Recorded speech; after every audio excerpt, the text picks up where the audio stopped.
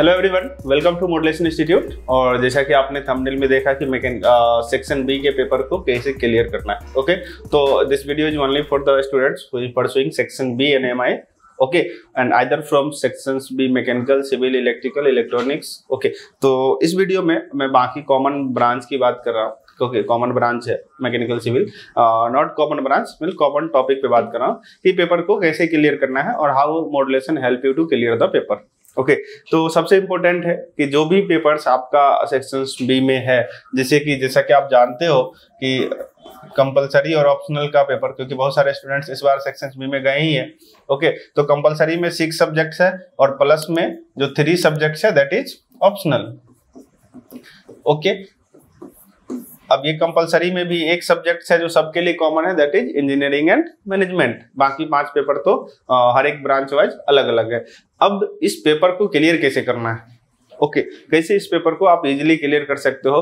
कम time में। आप देखते हो और दो महीने का टाइम है, जैसे अभी से एग्ज़ाम को लेके। और हर एक बार, ऐसे नहीं कि इस बार आपको दो महीने का मिला है तो अगली बार छह महीने का मिल जाएगा। अगली बार भी जब एग्ज़ाम का रिज़ल्ट आएगा, और नेक्स्ट जो अनाउंस होगा इन बिटवीन आपको दो महीने का है, दो से ढाई महीने का टाइम मिलता है, जैसा कि इस बार भी मिला है। ओके तो आपको पेपर को क्लियर करने के लिए, आपको जो पेपर क्लियर करना है, उसके लिए आपको एएमआई का पेपर क्लियर करने के आपको प्रॉपर स्टडी करने की ज़रूरत है। उसके बिना कोई चांस नहीं है। आप अगर ये सोचते हो कि हम, यहाँ पे तो ऐसा तो है नहीं कि ऑब्जेक्टिव क्वेश्चन से कुछ भी तुक्का मार के आ जाए।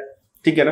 कन्वेंशनल पेपर है और कन्वेंशनल पेपर वो भी आपका पेपर आपको पता है कि जो चेक हो रहा है वो आईआईटी और एनआईटी के प्रोफेसर कर रहे हैं।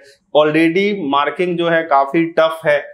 तो आपको पेपर आपको अच्छे से करना ही पड़ेगा, तभी जाके पेपर क्लियर होगा। ऐसी नहीं मार्केट में र्यूमर है, या ये र्यूमर नहीं है मार्केट में सच्चाई है कि ई टफ होता है पेपर ई का पेपर क्लियर करना आसान नहीं है। और इसीलिए ए के स्टूडेंट्स को एक अलग अप्रोच से देखा जाता है कि अगर कोई स्टूडेंट्स एएमआई से बीटेक कर रखा है तो ऑब्वियसली वो स्टूडेंट मेहनती है और अच्छे से पढ़ के गया हुआ है। ठीक है ना? तो ये कहाँ से आया ये र्यूमर ऐसा कोई र्यूमर नहीं है। ये सच इसीलिए है क्योंकि वास्तव में एएमआई में स्टूडेंट्स को बहुत ज़्यादा पढ़ना पड़ता है। आप देखोगे एएमआई में जो क्वेश्चंस पूछा जाता है, जो इंजीनियरिंग सर्विसेज़ का क्वेश्चन है आईईएस जो इंजीनियरिंग सर्विस बोला जाता है जिसको, उस लेवल का क्वेश्चन होता है, डायरेक्ट आपका इंजीनियरिंग सर्विस का कन्वेंशनल क्वेश्चन आपको यहाँ पे उठा के पूछ लिया जाता है। ठीक है ना? तो आप खुद सोच सकते हो कि आपके एग्ज़ाम का लेवल क्या है। अगर आप उस एग्ज़ाम को आप इजिली लेते हो तो आप गलत कर रहे हो, आप उस पेपर को क्लियर नहीं कर सकते हो। अगर अगर कभी बाय हो भी जाता है बाय द वे अगर किसी केस में तो आपको सी ग्रेड से ज़्यादा नहीं आ सकता है, ठीक है ना? और जनरली होता ही नहीं है, जो मेरा, क्योंकि बहुत सारे स्टूडेंट्स इस तरह से हैं कि बहुत सारे स्टूडेंट्स या सुन भी रहे होंगे, जो हमारे पुराने स्टूडेंट्स हैं, कि कई बार होता है कि उनका पेपर अच्छा होता है, बोलते हैं कि मैं बहुत अच्छा लिख के आया हूँ, और रिज़ल्ट नहीं आ पाता है। डी ग्रेड आ गया एफ़ ग्रेड आ गया, फिर वो री या रीचेकिंग के लिए डालते हैं। और वहाँ मालूम चलता है कि दस नंबर के क्वेश्चन में, बीस नंबर के क्वेश्चन में चार नंबर दिया गया, पाँच नंबर दिया गया।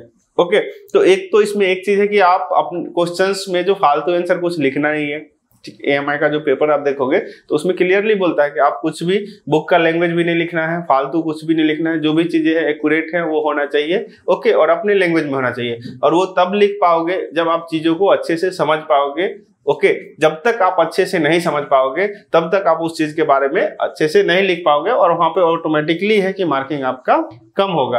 तो इस बात को आपको ध्यान रखना है कि जो भी स्टूडेंट सेक्शन बी में है और कोई भी पेपर आपका आसान नहीं है, एक अच्छी बात यह है सेक्शन बी के स्टूडेंट्स के लिए कि आपके लिए कोई भी सब्जेक्ट नया नहीं है। ठीक है ना? और कोई भी सब्जेक्ट अगर नया नहीं है तो इसका एक बेनिफिट आपको ये मिलेगा कि बैकग्राउंड आपका है उस सब्जेक्ट में तो उसमें अगर हाई लेवल करना है तो हमें कोई दिक्कत नहीं है। ठीक है ना? उसमें अगर हाई लेवल करना है तो अगर कोई मुझे गाइड मिले या कोई प्रॉपर गाइड मिले तो हम इजिली उस लेवल को क्रॉस कर सकते हैं। और चाहे इधर आप मैकेनिकल के सब्जेक्ट्स को लिख लो तो मैकेनिकल के में ऐसा तो है ना कि सारे सब्जेक्ट से इंट्रोडक्शन है। सारे सब्जेक्ट आपने डिप्लोमा में पढ़ रखा है, चाहे आप सिविल को हो सिविल वाले भी सेम ही कंडीशन से इलेक्ट्रिकल हो इलेक्ट्रॉनिक्स हो तो इस तरह से आप पेपर को इसीलिए सेक्शन ए निकालना ज़्यादा टफ हो जाता है कंपेयर टू सेक्शन बी लेकिन सेक्शन बी ऐसा नहीं है कि आपको बिना पढ़े क्लियर हो जाएगा कि आपने डिप्लोमा में पढ़ा था तो आप इसको भी क्लियर कर सकते क्योंकि डिप्लोमा का लेवल जो होता है आप लोगों का रेगुलर क्लास किए हो, सब कुछ ये है। इनमें पार्ट टाइम पढ़ रहे हो ऑलरेडी आपके पास टाइम कम है क्वेश्चन का लेवल इंजीनियरिंग सर्विस का लेवल है तो उस लेवल तक आपको भी पहले अप्रोच करना पड़ेगा, तब जाके आप पेपर को सॉल्व कर पाओगे।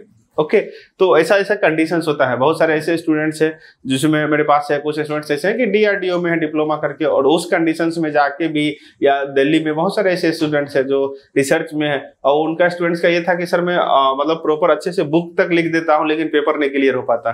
तो ये कंडीशन है।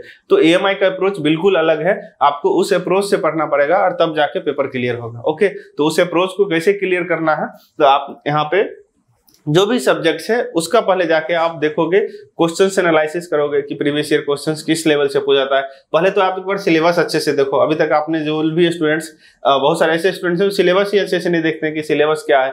ओके कई बार होता है कि दो लाइन में लिखा हुआ है और दो लाइन में लिखा हुआ है और सिलेबस है मतलब इतना ज़्यादा सिलेबस है। एक सौ घंटे का कोर्स है और उसमें आपको दो लाइन में सिलेबस लिखा हुआ है। तो ए में इस तरह से है। कई बार कोई चीज़ डिस्क्रिप्शन में सिलेबस है, कई बार शॉर्ट लाइन शॉर्ट मतलब टाइप में सिलेबस को मेंशन किया गया। तो इस बात को पहले आप जो भी सब्जेक्ट का अभी जैसे अभी एग्ज़ाम है, आपको ऑलरेडी एग्ज़ाम का डेट अनाउंस हो चुका है कि 18 सितंबर से आपका एग्ज़ाम है। और अगर 18 सितंबर से एग्ज़ाम है तो आपके पास मैक्सिमम दो महीने का टाइम है। और दो महीने में अगर आप चार सब्जेक्ट तीन सब्जेक्ट अगर प्लान किए हो उठाने पढ़ने का तो सबसे पहले देखेंगे ना कि उस सब्जेक्ट को पढ़ने में कितना टाइम लगेगा इसका कोर्स कंटेंट कितना है ओके okay, कितना ड्यूरेशन समय लग सकता है इसको क्लियर करने में। तब हम प्लान करेंगे कि हमें दो का क्लियर करना है ऐसा नहीं कि हम चार ठान लें और क्लियर हमारा दो भी नहीं हो पाए। तो एक स्ट्रेटजी बनाना है एक प्लान बनाना है कि हमको कैसे क्लियर करना है। ये दो महीना हम कैसे यूटिलाइज करेंगे कि हम दो महीना में कितना टाइम हमारे पास है दो घंटे है, तीन घंटे, क्योंकि ऑलरेडी आप लोग वर्किंग हो। सारे स्टूडेंट्स वर्किंग होंगे मैक्सिमम तो 99 पर एक आध परसेंट ही होंगे जो वर्किंग नहीं होंगे। अगर आप सारे लोग वर्किंग हो तो आपके पास लिमिटेड टाइम है, और उसी लिमिटेड टाइम में इस कोर्स को भी सिलेबस को भी कंप्लीट करना है। तो सबसे इंपॉर्टेंट है कि आपके पास, ठीक है, वो प्रॉपर पता होना चाहिए कि हमें पढ़ना क्या है। एक मटेरियल होना चाहिए डेडिकेटेड मटेरियल होना चाहिए कि उस सिलेबस को कवर करता हो, कि आपको इधर उधर से सिलेबस इकट्ठा करने की ज़रूरत ना पड़े। ठीक है ना? कर सकते हैं, ऐसा नहीं कि नहीं कर सकते हैं। ऑलरेडी बहुत सारे कंटेंट आपको गूगल पे मिल जाएँगे, और ऐसा कोई भी चीज़ ऐसा नहीं है जो गूगल पे नहीं मिलेगा। ओके लेकिन ये है कि आपके पास वो टाइम होना चाहिए इकट्ठा करने का डेडिकेशन मतलब डेडिकेटेड कंटेंट बनाने के लिए। तो ये चीज़ है तो आप देखो कि आपको पेपर को कैसे क्लियर करना है।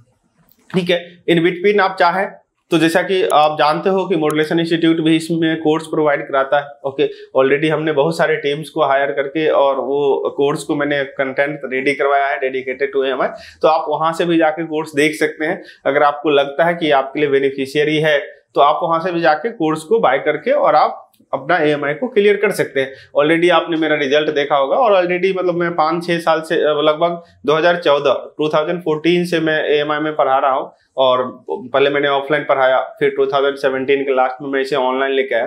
तो मेरे पास दोनों एक्सपीरियंस है ऑनलाइन और ऑफलाइन का। तो मुझे पता है कि पेपर कैसे क्लियर होता है और इसीलिए मैं आज मॉडलेशन का सबसे ज़्यादा रिज़ल्ट है। ऑलरेडी चाहे वो आइधर ऑनलाइन में देखोगे सेक्शन ए में देखोगे या सेक्शन बी में देखोगे? तो maximum students A M modulation को फॉलो करते हैं और वहाँ से अपना रिज़ल्ट पेपर को क्लियर करते हैं।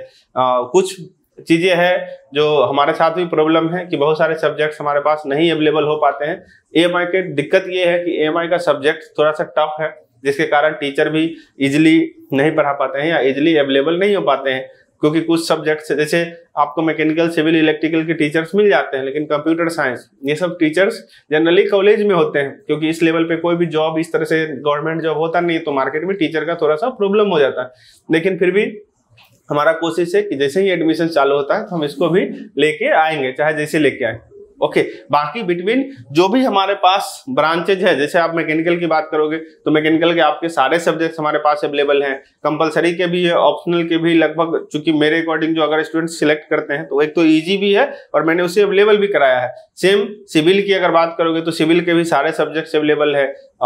इलेक्ट्रिकल की बात करोगे तो इलेक्ट्रिकल के कंपलसरी के सारे सब्जेक्ट्स अवेलेबल है ऑप्शनल के कुछ सब्जेक्ट्स अवेलेबल हैं। इलेक्ट्रॉनिक्स की बात करेंगे तो कंपलसरी सारे अवेलेबल है ऑप्शनल के कुछ सब्जेक्ट्स अवेलेबल हैं। कुछ सब्जेक्ट्स प्रोडक्शन के भी अवेलेबल हैं, कुछ सब्जेक्ट केमिकल के भी अवेलेबल हैं। तो आप जो भी ब्रांच के स्टूडेंट्स है तो एक बार आप एबिलिटी चेक करें कि कौन सा सब्जेक्ट हमारे पास अवेलेबल है। आप कौन सा एग्ज़ाम देने का प्लान कर रहे हो? बहुत सारे कॉम्बिनेशन बताए गए हैं। ऑलरेडी आप यूट्यूब पे सर्च करोगे ओके कि best optional best subject for M best combination of mechanical engineering best four subject of क्योंकि कई बार क्या होता है, अगर आप मैकेनिकल के स्टूडेंट हो, या आप किसी भी ब्रांच के स्टूडेंट हो तो हर एक सब्जेक्ट का ना एक दूसरे से लिंक होता है, हर एक सब्जेक्ट नहीं कुछ कुछ सब्जेक्ट का। तो हम कभी भी हम तैयारी करते हैं तो प्लान करते हैं कि उस लिंकिंग सब्जेक्ट्स को तैयार करने का, कि जैसे मान लो अगर आप मैकेनिकल के हो तो थर्मल का रिलेशन किससे होता है? आईसी पावर प्लांट ये सब थर्मल से रिलेटेड सब्जेक्ट है। तो हम जब कंपलसरी देंगे तो ऑप्शनल भी उसी से देंगे। डिज़ाइन ऑफ़ मशीन एलिमेंट और मैकेनिक सब सॉलिड दोनों रिलेटेड सब्जेक्ट है। इलेक्ट्रिकल मशीन और design of electrical system related subject है। ठीक है ना?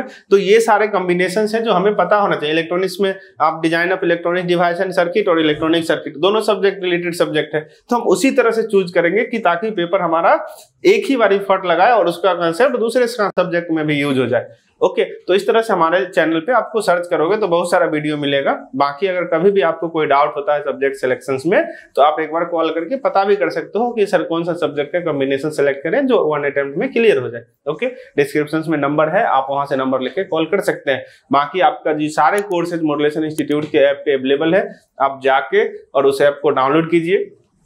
इधर आपके पास एप्पल आईफोन हो या एंड्रॉयड फ़ोन हो, दोनों के लिए अलग अलग ऐप है। डिस्क्रिप्शन में दोनों का लिंक है। फिर भी अगर आपको कोई डाउट होता है तो नंबर पे कॉल करके आप पता कर सकते हैं। और बाकी ई को आप लोग जो भी स्टूडेंट्स पेपर क्लियर करना चाहते हैं, आप लोग पेपर को क्लियर कर ले। डेडिकेटेड मटेरियल है। और कोई भी हेल्प की ज़रूरत हो तो आप मॉडलेशन में ऑलरेडी स्टूडेंट्स कंटेक्ट करते हैं, आप भी कंटेक्ट कर सकते हैं। और चैनल को ज़रूर सब्सक्राइब कर लीजिएगा। आपको ई से रिलेटेड हर एक अपडेट आपको इस चैनल के माध्यम से मिलते रहेगा ओके थैंक यू